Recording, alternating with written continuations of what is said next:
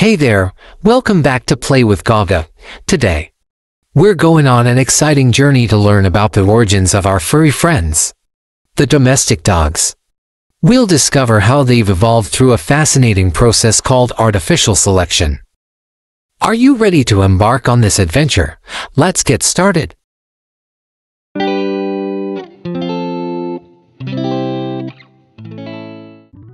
Do you know what the little Chihuahua, the intelligent Border Collie, the feisty Bull Terrier, the playful Labrador or any other dog you can think of have in common?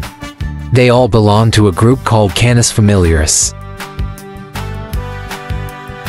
For over 15,000 years, they've been friends with humans. And through lots of special choices, they've become the unique and awesome dogs we see today. Each dog breed is unique, and they all share a common ancestor.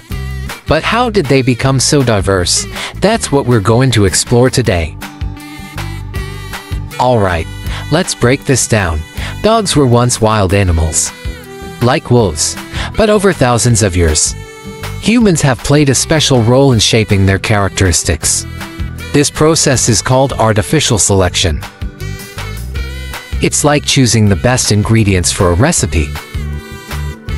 We select dogs with traits we like, and over generations, these traits become more pronounced.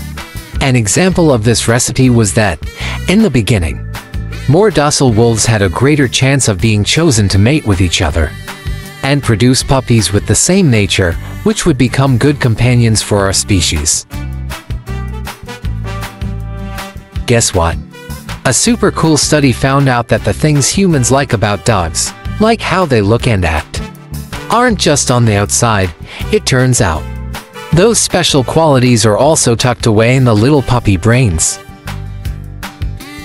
Now, let's see this in action. I've got some dog friends to introduce you to. Meet Max, the pianist poodle, and Luna, the gourmet bulldog.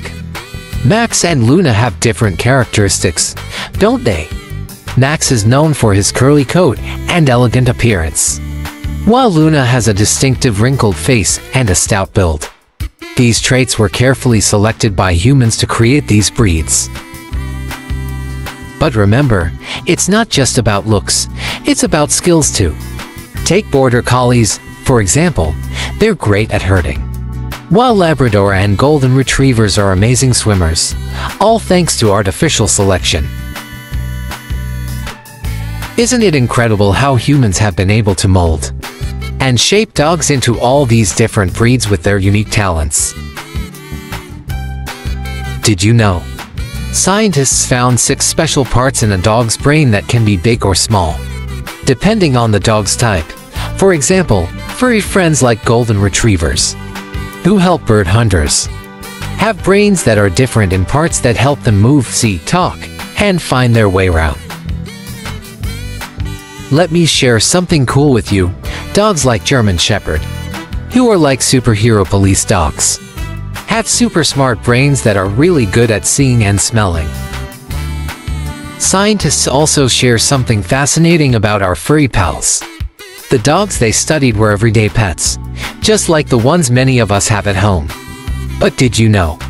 Dogs like guide dogs or sniffer dogs have brains specially crafted for their incredible jobs. It's like they're born ready for it. Maybe in the future, scientists will figure out how much of this cool stuff is built in from the start, and how much comes from their everyday adventures and training. Now, here's a question for you. What's your favorite dog breed? And why?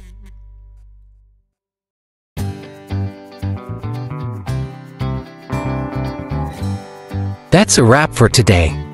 I hope you enjoyed learning about artificial selection and the origins of our furry friends. The domestic dogs. Remember, humans and dogs have been partners for a long time, working together to create the incredible diversity of dog breeds we see today.